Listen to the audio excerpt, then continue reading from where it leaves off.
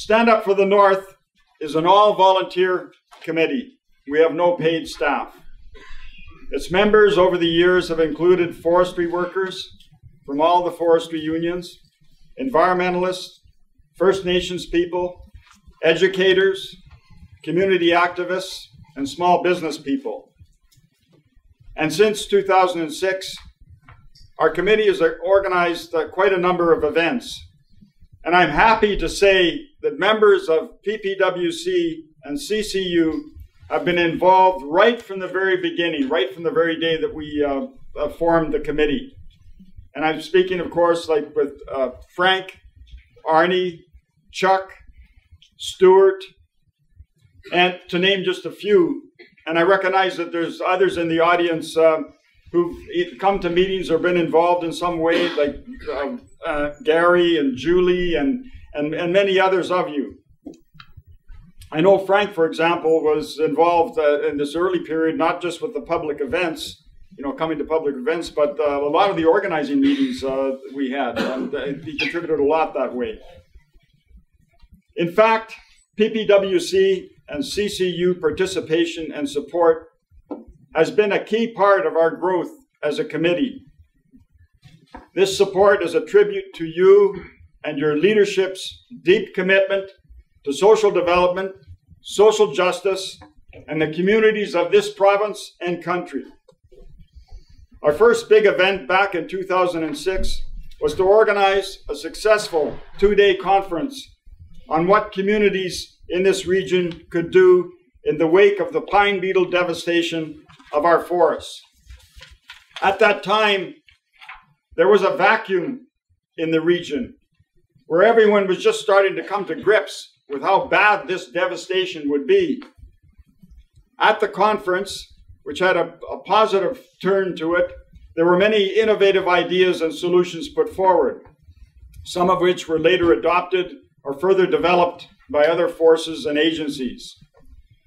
Arnie was one of the speakers, and there were many others from First Nations, community, and industry, as well as professional foresters, environmentalists, and scientists. This meeting was followed by other public meetings in Prince George, Mackenzie, and Fort St. James on forestry issues, especially on getting more value out of our wood. As you know, in 2007 2008, the forest industry in this region was hit with an unprecedented downturn, caused in part by the collapse of the housing market in the U.S. This hit the smaller communities in the region extremely hard, such as Mackenzie, which had all its mills shut down, and Fort St. James. All of these things you, you know very well about. These communities were really suffering, and it was at that time that our committee spearheaded the organizing of a Save Our Community rally in Mackenzie, to which over 1,200 people attended out of a population of just 5,000. Buses full of people came from Prince George, Fort St. James, McBride, and other communities to support Mackenzie. Representatives from provincial and national unions spoke, including PPWC and CCU, as did prominent political and community leaders. This rally was so large that it attracted provincial and even national attention, and it provided the impetus for various levels of government and other forces to get into action to support the community of Mackenzie, a community which has contributed huge revenues to government and industry over the years through all the stumpage, profits, and taxes, but was now in need of substantial support. Our volunteer committee organized a similar Save Our Community rally in Fort St. James a few weeks later, which was also very successful. Since then, We've also organized meetings on the need to keep water and other infrastructure publicly owned and other community issues. A couple of years ago, we brought in the economist Robyn Allan to speak on the economics of the Enbridge pipeline, as well as the need to process our bitumen and oil resources within Canada rather than ripping out and shipping out the raw resource on the Enbridge and other pipelines. Over 300 people attended that event, which got a lot of coverage. As you know, last year, the provincial government tried to float tenure reform, which would have, in effect, consolidated much of our precious forest resource into the hands of a few big companies in the form of vast tree farm licenses. It was Arnie Bercov who proposed to our Stand Up for the North Committee that we organize community meetings to discuss this controversial issue. So, working with Arnie, Frank, Chuck, Stewart, and others from PPWC, as well as steelworkers, BCGEU, Unifor, CUPE, Faculty Association of CNC, and other unions and groups, we organized successful community meetings in Prince George and Mackenzie and partnered with other organizations in Williams Lake for a meeting there. And we did this under the heading of renewing our woods and keeping our forests public and sustainable. These meetings, as is the way we like to do things, involved a very wide range of people from the forest industry, First Nations, and community, and had a definite impact. They had such an impact that uh, we were kind of laughing afterwards that even the CEO of Canfor published an open letter basically repeating and agreeing with a number of the criticisms of the TFL proposal that we ourselves had raised in our extensive advertising and in our meetings. Of course, as you know, several months later, the, pro- the provincial government withdrew the TFL legislation, which, in our opinion, was a victory for the people the First Nations, and communities of BC. More recently, just the other night in Prince George, we organized a very successful meeting with an overflow crowd at CNC to discuss the Harper government's anti terror legislation. this legislation, with its broad, vague categories and anti democratic character, directly threatens labor unions in this country, as well as environmentalists, First Nations, and anyone who disagrees with the federal government. Over the next few weeks, we're planning more meetings on this topic in other towns in this region. In the near future, working with Arnie, Frank, Stewart, Chuck, and others, we're looking to organize community meetings to discuss what can be done about the mill closures that loom over our communities in this region and other parts of the province, as well as how to move our forests and forest industries forward. And we're looking forward to that work, and we're looking forward to working with uh, uh, PPWC and CCU on that. So, just to put in a nutshell, what is the essence of what our committee is about? I mentioned before the issue of empowerment, of people having more of a say and more control over their future, and the need for new mechanisms and new ways of doing this. But connected to this is our strong belief that there are alternatives to the problems we face in this increasingly globalized and volatile world. The Harper conservatives and their big business backers say there is no alternative to their policies, to their neoliberal, neoconservative path of austerity, privatization, mill closures, outsourcing of manufacturing, and so on. But this is not true. Back in the 19th century, during the Industrial Revolution, workers worked in appalling conditions of long hours, poor wages, and severe exploitation. At that time, they were also told there was no alternative. Brothers and sisters, through hard struggle, they proved otherwise. Another way was possible.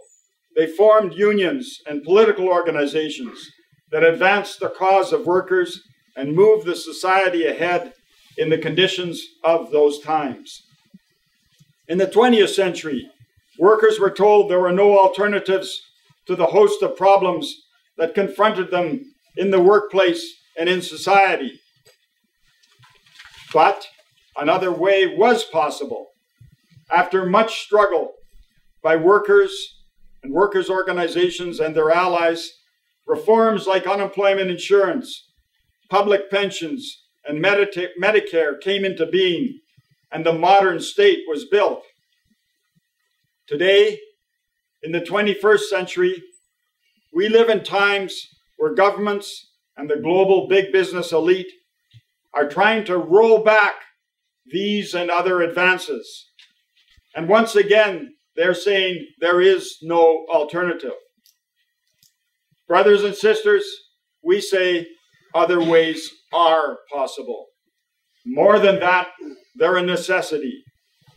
When the Harmac mill was about to be dismantled, cut up into pieces, and shipped off to Asia, PPWC members took the initiative and showed another way was possible. There's an inquest going on right now concerning the terrible explosion at the Lakeland Mill in Prince George that killed two of our brothers and injured many more. One of the things coming out of this inquest, loud and clear, is that another way was possible. It didn't have to happen. Now, the same holds true for exports of our raw materials, such as bitumen and oil and gas. We can and should be processing these right here in Canada. And we can and should be getting more revenue from the big oil companies. A few decades ago, oil began to be drilled and pumped out of the North Sea in Europe. The little country of Norway on the North Sea, which is not much bigger than BC in terms of population, was told there was no alternative but to accept what the big oil companies were demanding. But little Norway said no, there was another way. It established its own publicly owned oil company and demand a production share. Furthermore, it demanded substantial royalties, which it then put into a sovereign wealth fund.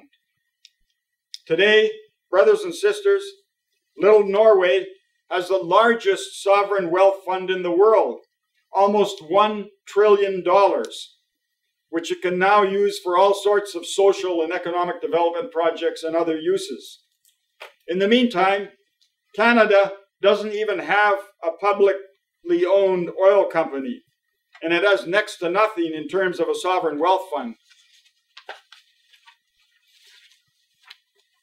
The reason is that our political leaders, our political leaders accepted the line that there was no alternative.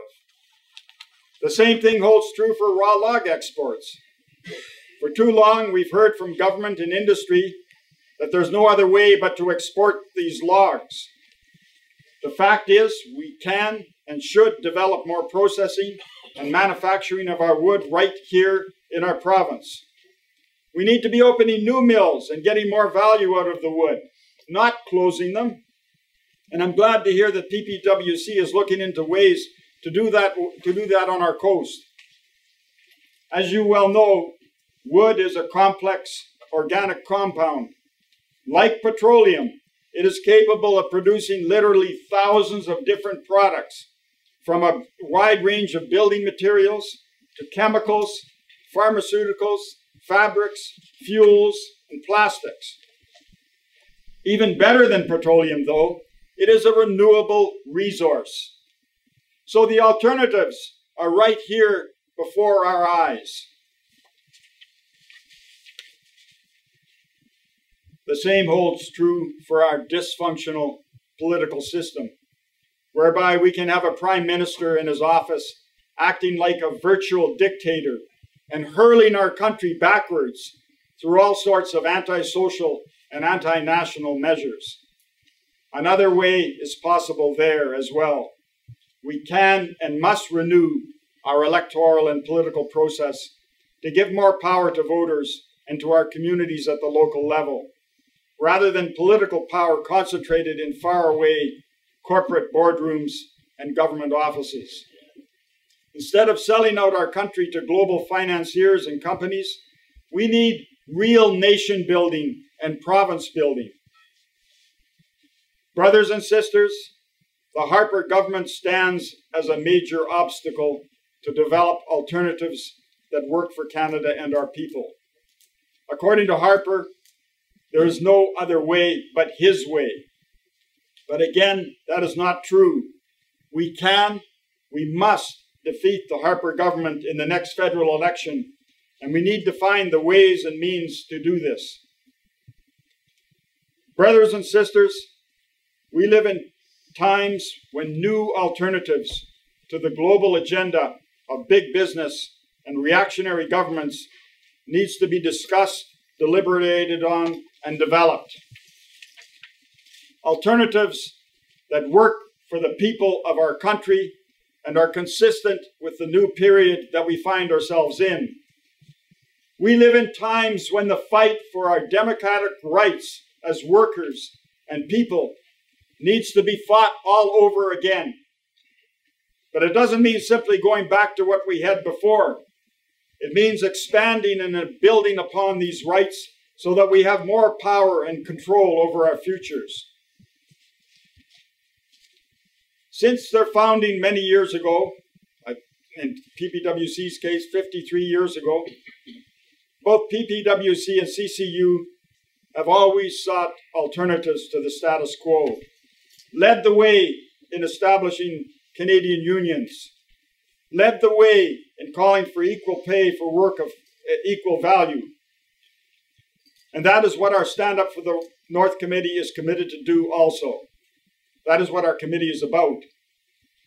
Working together and with others, we can accomplish a lot.